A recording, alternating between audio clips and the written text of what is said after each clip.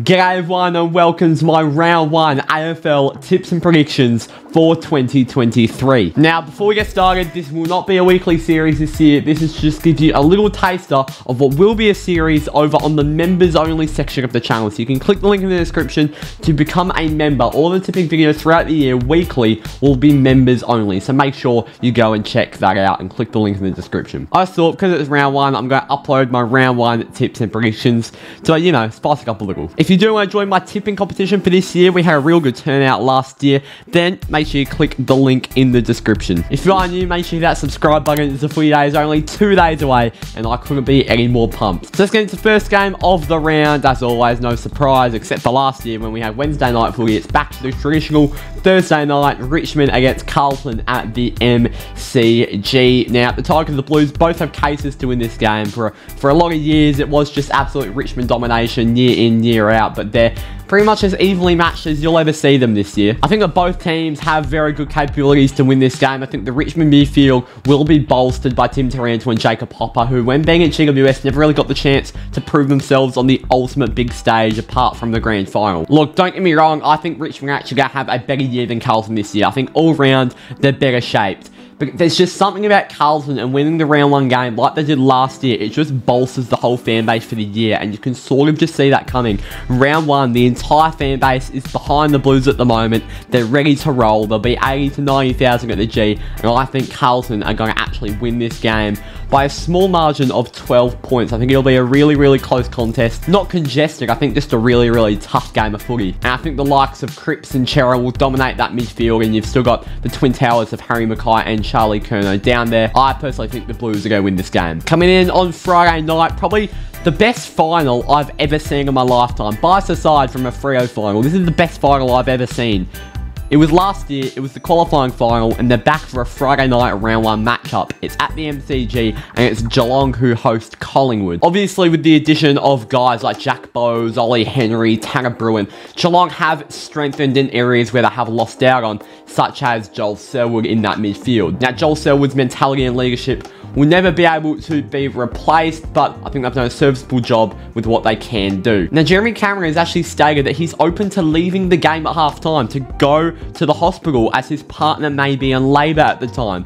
Imagine what a dynamic that would bring if it's a close game at halftime and Jeremy Cameron is off to the hospital. Jeremy Cameron there or not, um, I think Geelong, they're the reigning premiers, they'll be unveiling their flag. Will they be unveiling their flag? I think they might do it at GMHBA, but they'll be on a high from their premiership. They'll be up and about. It'll probably be the biggest regular season crowd of the year, um, maybe apart from Anzac Day. There'll be 90,000 there. It will be absolutely rocking, and I think the Cats experience, you know, Collingwood's still a young list. They had a lot of close wins last year, and um, we've got to say that they're, you know, they're a very good team. There's an element of luck to that, and I think, and while Collingwood are very good on the big stage, they made it to a prelim and they only lost out by a point to the Swans. I think this is the Cats' game to lose, and I'm going to go Geelong to win this game by 8 points. Moving on to the first Saturday game, we have got a blockbuster. It'll attract a sellout Marvel Stadium crowd. It's going to be North Melbourne who host West Coast. What an absolute game this is. It's 17th versus 18th from last year.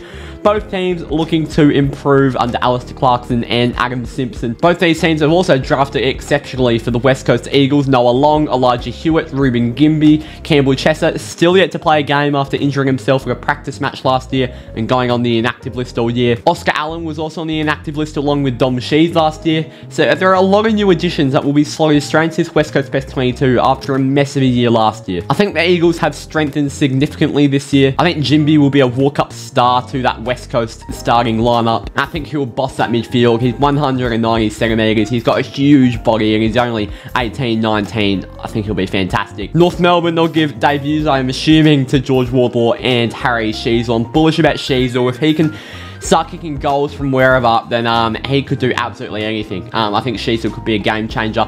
It's still a relatively weak North Melbourne forward line. They've got the experience in that midfield and forward line, but it's still relatively weak. Davies Uniacke will be a big, big step up, but when I look at the two the two teams combined, on paper, I prefer West Coast. Which is why I'm actually going to say West Coast win this game by 22 points and get their season off to a 1-0 start and, and, be a bit bullish for the rest of the season. The next game is at the Adelaide Oval. It's going to be Port Adelaide who host the Brisbane Lions, a game I will actually be streaming along with the Friday night game, so make sure you tune in for this one.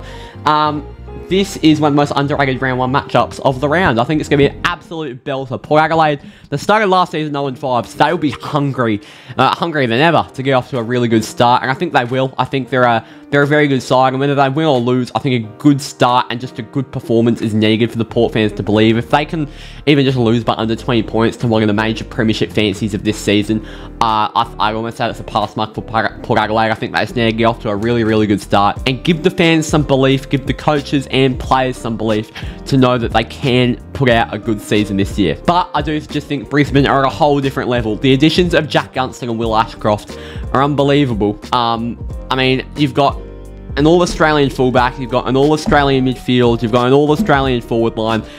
Brisbane are a scary unit this year, and they won't mess around in round one. They'll win by, I'll say, 20 points. I think it will be a comfortable win for the Lions, but I think Port Adelaide will put out a fight. I just think the Lions are far, far too good for the power. Coming into the first Saturday night game, it's going to be the MCG. It's going to be Melbourne who take on the Western Bulldogs. I think I cooked the Dogs a bit too much in my season predictions, because when you think about it, They've added Liam Jones, they've added Rory Lobb, they've added some tall timber to either end of the ground, and I think that will be very, very valuable to them. I think that won't go unnoticed. I think Lobb will be a really good marking target as well as someone that can chop out for Tim English in the ruck. And I think Liam Jones will be a man of experience down in the back line. I think the Dogs will be okay this year, and I think they will put up a fight this game but I think the fight will be nowhere near enough. The Star-Studded Melbourne lineup, I think, I think Brodie Grundy and Max Gawn will um I think they'll obliterate. Um, uh, Tim English is a very good ruckman, and Rory Lobb is an okay deputy.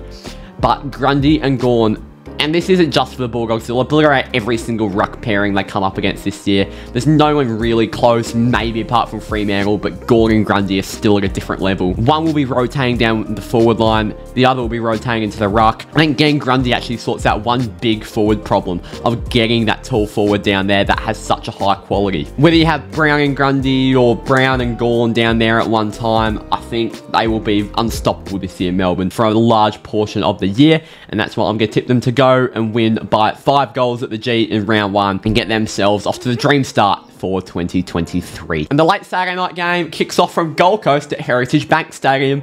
What a horrific name that is. It's the Gold Coast Suns who host the Sydney Swans. Teams struggle to go to the Gold Coast. It's a weird atmosphere and the Swans are no different. The Swans are very oftenly lose to the Suns on the Gold Coast, no matter how good the Swans are or how bad the Suns are or vice versa. I think it, form doesn't go into this. The Swans have just come off a grand final. Um, I think, look, it's round one. Anything can happen. I think the Suns will be really, really bullish for this year, and I think they're going to win this game by. Oh, I'll go. I'll go. I'll go 20 points, where both teams score under 60. I think it's going to be a real low-scoring scrap. Um, I think it's going to be really congested. I think both midfields are really, really strong, and there'll be a lot of tackles laid by the likes of Callum Mills and Chad Warner and uh, Touk Miller and Noah Anderson, Matt Rowell. You know, you get the gist. I think the Suns will just be the better team on the day. I think their forward line will start to fire. You know, Levi Casboult, Mabior Chol, Ben King finally into the Gold Coast side. And don't get me wrong, I think the Swans will have an okay year. I, th I think the Swans will have a good year. I've tipped them to make top four, but for me, I think the Suns will just get the better of them on the day, and I think, you know, it's on the Gold Coast, it is a very hard place to go. Moving on to the Sunday games, we move to Giant Stadium, where GWS host the Adelaide Crows. Now, the Giants have got a new coach, and while they do have some serviceable, serviceable experience, such as Coniglio, Whitfield, Perryman, I just don't really see them getting off to a good start this year. Um, I, th I think the Crows are the better side. I think the Crows will rise up the ladder. I think Adelaide get a good job done here. I'm going to say they're going to get it done by 34 points. I think it's going to be a convincing win for the Crows. They're going to go out, they're going to show their guns. You know, Rory Laird and Ben Keays. There'll be, uh, I think Keays will kick some snags for fun while getting the pill for fun. I think Lee will be laying heaps of crunching tackles and uh, just being that real bullish midfielder that we know him so well for. And you can't underestimate the Giants, but with a new coach, he'll Adam Kingsley will take a while to adjust to things. And that Chiggaburst practice match, they did look very promising. But when it comes to round one, I think the Crows will be the side on the day that get up, get up about, and uh, get the result down in Sydney. The Channel 7 time slot on the Sunday at the MCG, it's going to be Hawthorn and Essendon, the line in the sand. It's going to be an absolute cracker, I think. Um, a cracker between two mediocre teams. That's why it's going to be a cracker. It's going to be really, really sluggish.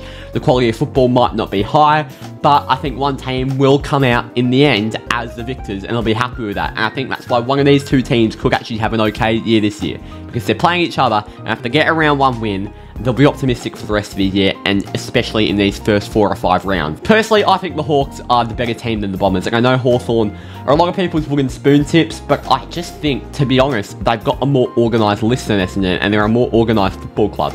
Sam Mitchell, this is his second year in the job, and while Brad Scott's obviously coached AFL teams before, this is only his first year in the job. I think Essendon's list, if you actually look at it, probably worse than Hawthorn's when it comes to putting them all together. The ruck department could be an issue for the Hawks, don't get me wrong, I think Sam Draper shits on Meek and Reeves, but I think it will be the Hawks that get the job done. I think they are the better team. I think Cam Mackenzie and Jai Newcombe and Karl Amon in the midfield will have a field day. James Sicily will hold down the back line. He'll have a very good game. I reckon he'll take 10, 11 intercept marks. I think the Hawks are actually going to get the job done here by I'll go a close one. I'll go eight points because I don't think they're that good, but I, I think Hawthorn will win. And the last game on the Sunday, I cannot wait for this one. Freo footy's back. It's the Saints and it's the Dockers at Marvel Stadium. Absolutely pumped for this one.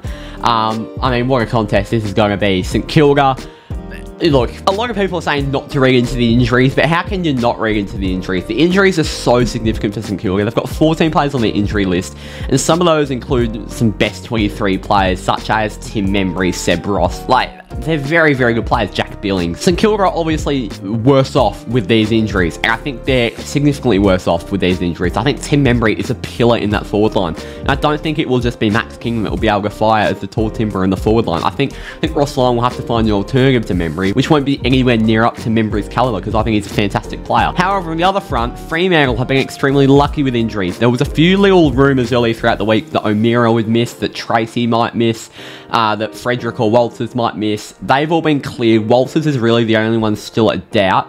Um, but I think Fremantle will have their best 22 out. Fyfe, Treacy, Taberner, Amiss, it doesn't matter who they select in the forward line, they will want to stay as a unit. We've done a lot of work over the off-season with our forward line staying as a unit, and I just really hope that does pan out in round one. I hope Nat Fyfe, who will obviously play, can pair up with a Luke Jackson, a Josh Treacy, a Taberner, and Amiss. The midfield, I think, will get off to a cracking start. Look, no Seb Ross is also a big loss. Look, Jack Steele, he's a he's a fantastic player. He's a Brownlow fancy, but Fremantle's midfield won't be messed with by many teams in the competition this year, even the best. I mean, it's unbelievable. Serong, Brayshaw, O'Meara.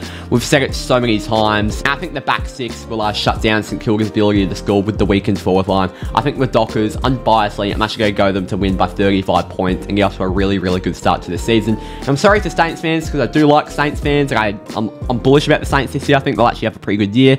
But uh, yeah, I think the Dockers are the far better side in this occasion. Thank you all for watching this video. As I've already said, become a member to watch my weekly tipping videos throughout the year by clicking the link in the description. You can also join my free tipping comp by clicking the link in the description. And please hit that subscribe button because there'll be an abundance of content coming throughout the season and leading up to the season. So make sure you hit the subscribe button and like the video. And leave a comment down below. What are your thoughts on these tips? What would you change? And who do you think is going to win this round? Thank you all for watching and I will see you all next time. Cheers.